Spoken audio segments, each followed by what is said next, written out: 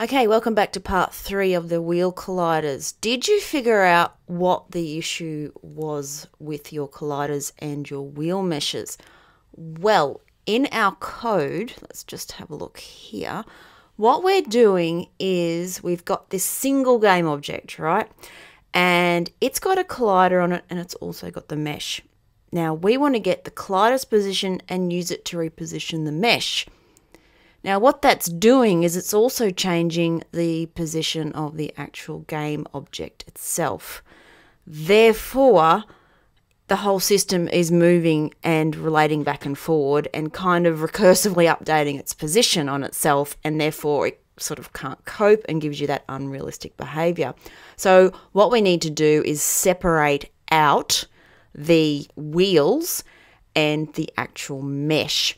Okay, so let's go into our hierarchy and you want to get each wheel. Now, I'm just going to rename these wheels. Okay, so this is, let's see, that's our front right wheel. So let's call this front right. And I'll call it front right collider.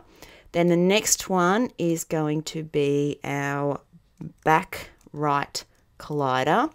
Then this one is our back left collider and this one is our front left collider. Now we're going to select the car and right click create an empty on it and let's call this colliders and then attach all of those colliders to that empty game object so they're all together. Now select the car, right click, and we're going to again create another empty and in here we will call this our wheels, which is in fact our meshes. So you want to actually grab all of those colliders. Remember, they're not just colliders. I got the mesh on them as well. Control D to duplicate them all and then drag them out of there and attach them to the wheels. Then we're going to go through and just rename them from a C on the end to put a M on the end so we know it's the mesh. And then put in mesh and this one here. Okay, now we have the colliders and we have the wheels. So all of the collider objects, you can get rid of the mesh renderer and your mesh filter that are on those. So you just go through here. Let me bring this in so you can see what's going on the screen. Just near that little cogwheel, just go and remove it from there and remove that component from there. So you get rid of both of them. And if you shift select those three, you can do that for all of them at once. Remove component and remove component. And then for the wheels, select all of those, but get rid of the wheel colliders, remove, and get rid of the drive script, remove. So the drive script is just left with the collider because it's basically moving the collider, but we really, it also has to move your mesh. So we're going to edit that code. Go into your drive script and at the top, we're going to create a public for our game object to pass through the mesh object. So game object, let's call it um, wheel.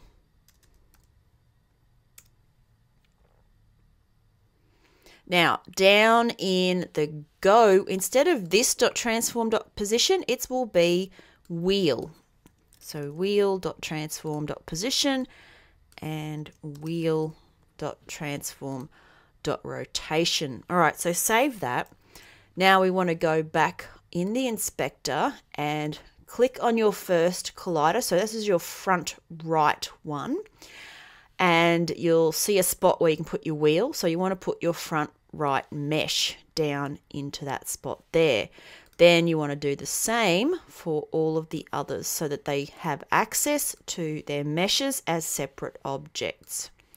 Now, what this is going to mean is when you rotate one thing, so the collider, you can rotate the mesh, but they're not doing that feedback loop sort of thing that we had going on before.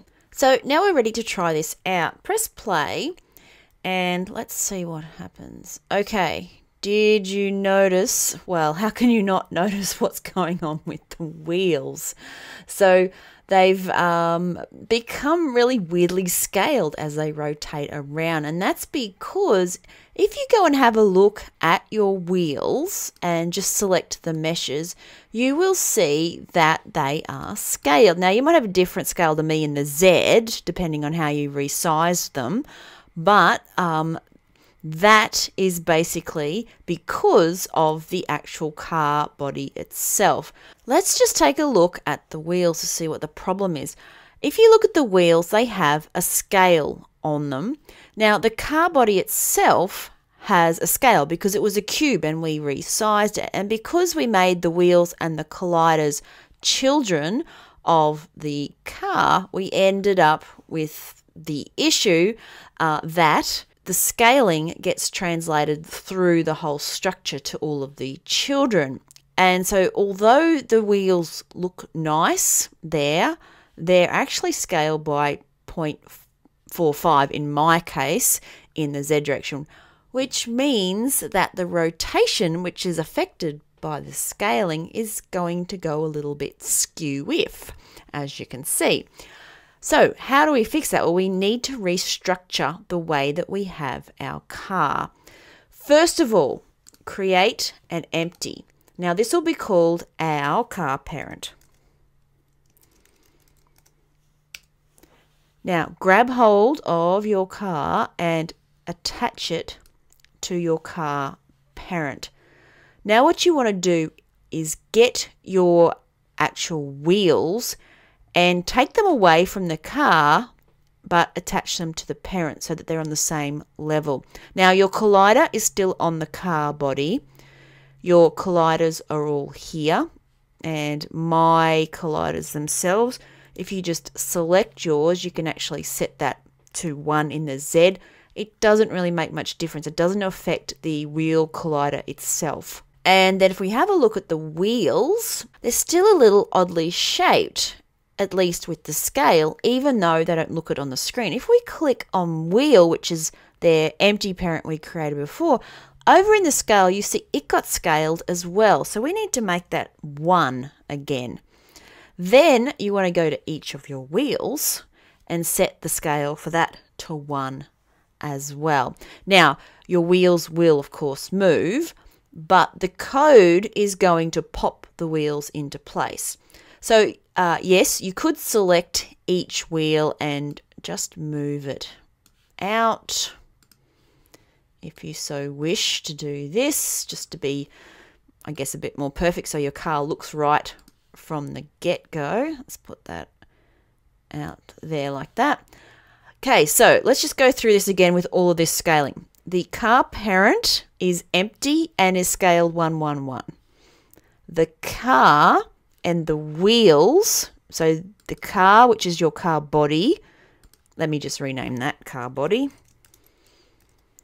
is scale to whatever you need it to be.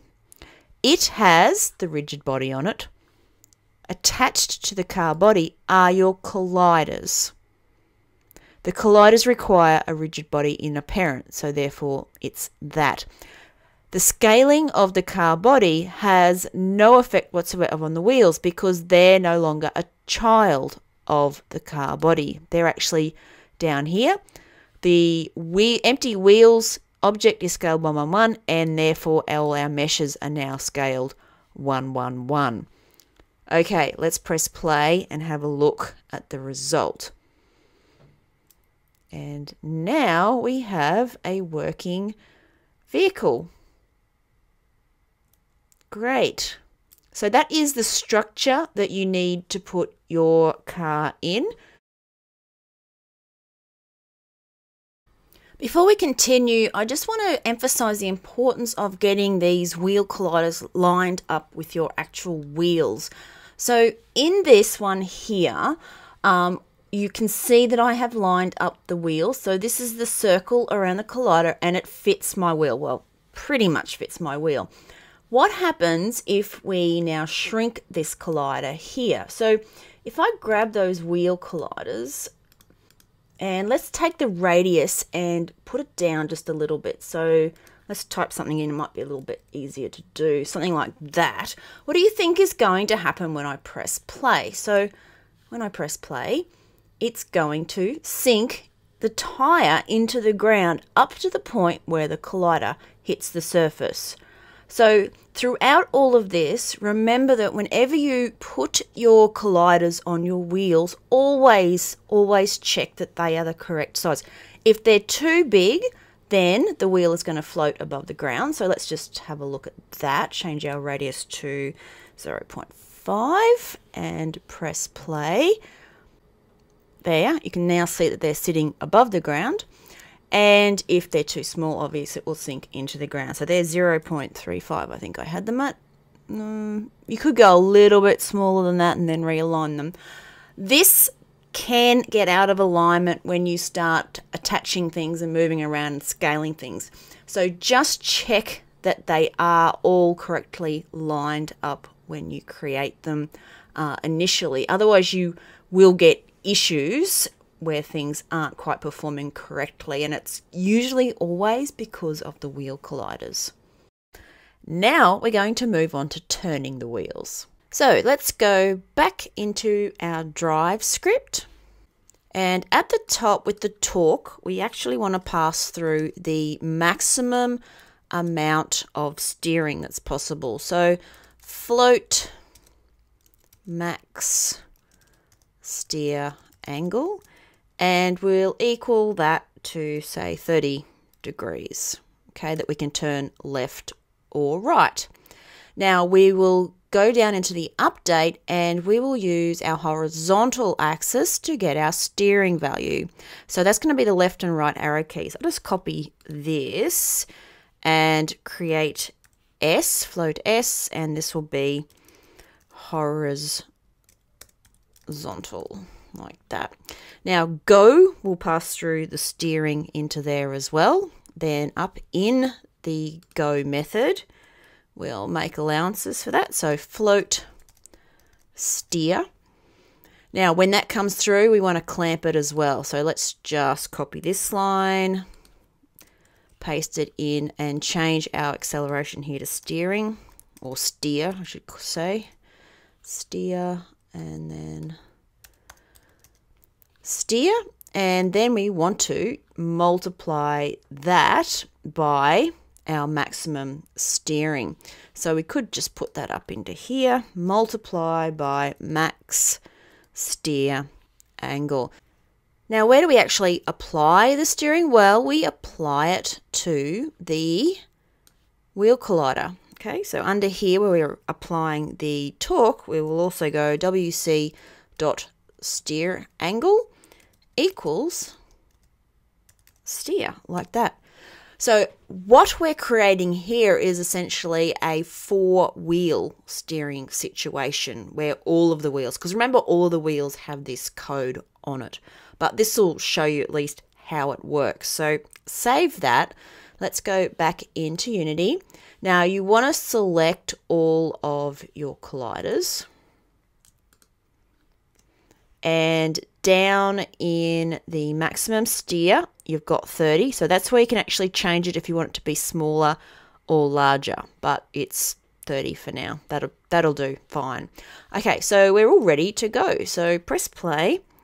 And now when we use the side arrow keys, check out those wheels. And what I'm going to do is just rotate around here as well so we can see both sides and I might just move the light so that we can see it a bit more clearly as well. Okay, there it is. So now let's just turn and you can see that all the wheels are turning in the exact same direction.